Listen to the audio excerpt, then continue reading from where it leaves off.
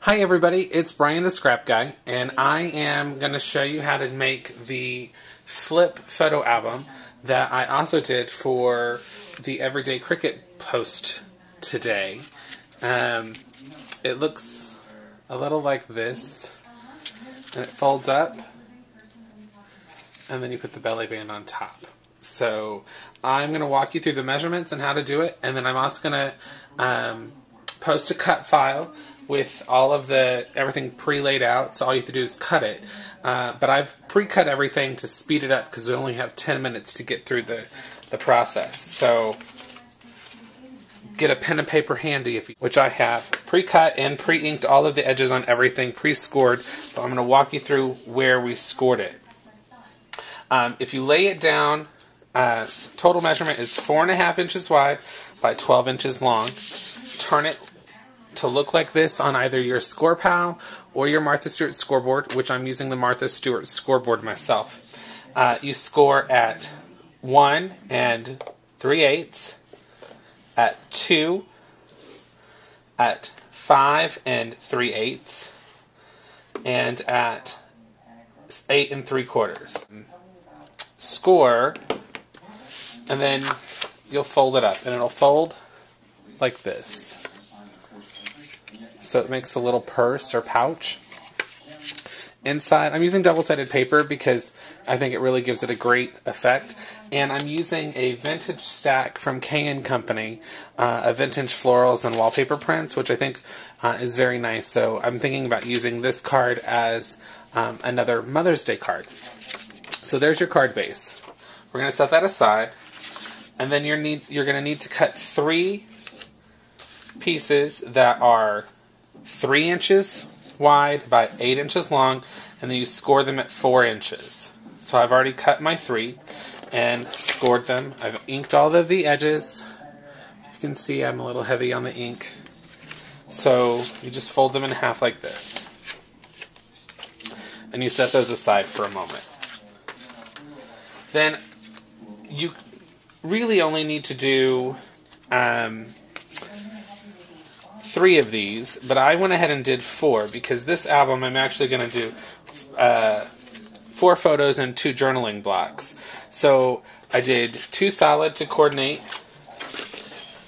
with each of the blocks. So brown will go here, red will go in here, or this burnt burgundy, and this kind of light craft color that I've stamped with the uh, with lines from Noteworthy collection by um, Close to My Heart, so it makes it easy for journaling. So I like lines, and I think it gives it kind of an old vintage feel as well.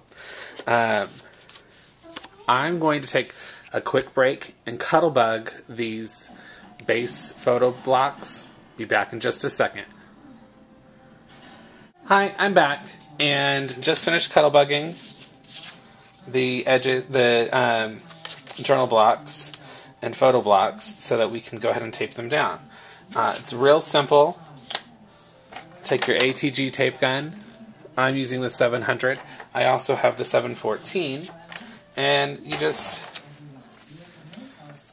you know, do your adhesive.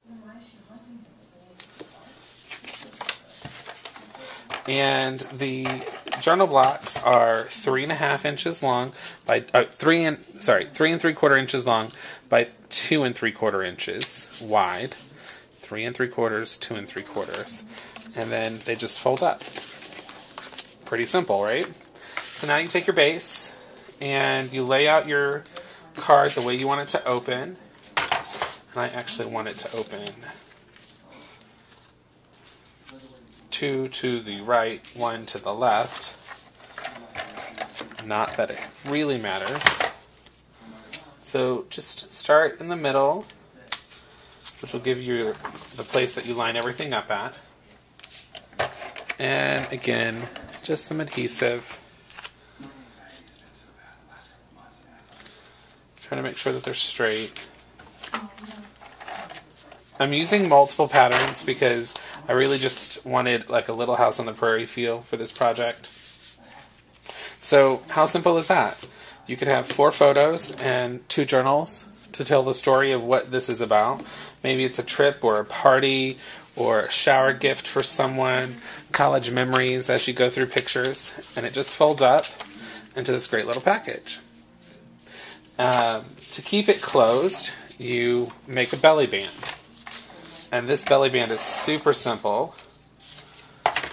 It is 9 inches long by an inch and 3 quarter inches wide, and this is 9 inches by an inch and a quarter. And you just lay it down. Pretty simple. And you don't even have to worry about trimming up the edge because we have um, another small step to do. Here I've cut some top note shapes from Songbird. As you know, it's my favorite cartridge ever. Um, three layers, used pop dots on the back. And this keyhole is actually from uh, Jolee's Boutique. Um, new accessories that I found at Joann's shopping one day with Melanie and Joy at lunch and had to have them. It also comes with some keys that I'm going to use on another project.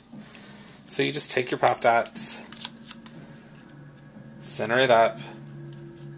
So it's a multi-dimensional, three layers. I don't know if you can see that. Uh, brown, red, and um, this kind of light craft color, which are the same colors and scraps from the inside journal blocks. Did not it like this because I wanted it to be pretty plain because we've got a lot going on on the outside with the prints. So here we take the finished card, lay the belly band down, and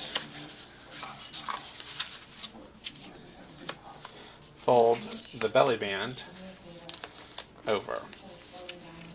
It doesn't have to be too tight because we're going to cover most of it up. So you just take your adhesive, lay it down, center it up, make sure that it overlaps properly so that it lines up. And you want it to be a little bit loose so that you can slide it on and off. And then you just put your top note on top.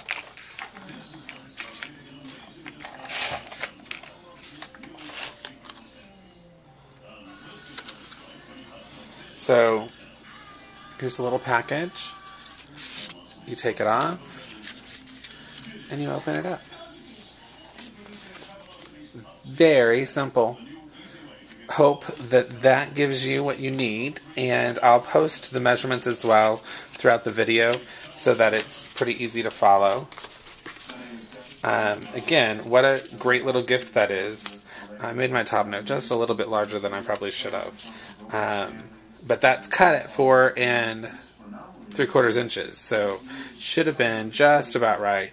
I'm okay with it being a little bit big, so I hope you enjoyed the video. There'll be more of these to come, so I will talk to you later. Take care.